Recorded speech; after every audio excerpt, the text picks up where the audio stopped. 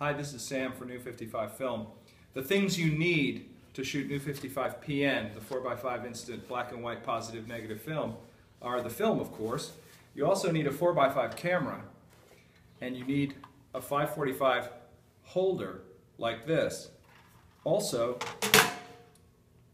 Ilford Rapid Fixer concentrate, which we mix one to one with water, and you'll need a couple of trays, one for the fixer and one for the water to rinse the negative.